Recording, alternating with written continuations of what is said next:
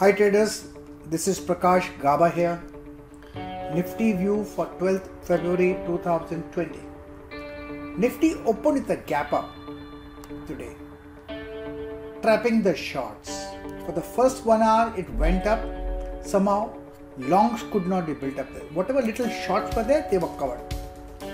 But there was no build up of longs.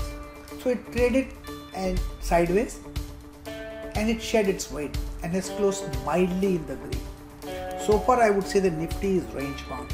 The upper range is at 12,191, maybe slightly more, and the lower range is 12,023. Looks like we could still see some sideways action here. Now, but if it opens the lower regions closer to support, perhaps there could be a buying opportunity. We'll have to see whether it opens the gap down or gap up. Gap up open, perhaps could be some more short covering, but looks like there would be pressure out, selling pressure in the upper ranges. Let's see what how Bank Nifty unfolded.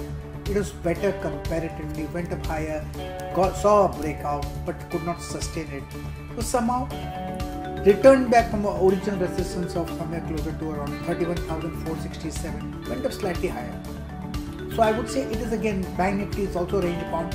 If it opens in the green, possibly we could see a down move. But strong support on Bank Nifty exists around the psychological 31,000 mark. So it looks like a range bound market. Let's see how it unfolds. Remember, trading is only about making money, not about being right or wrong. It's only about making money. Trade what you see, not what you think. Trade the markets and not the forecast.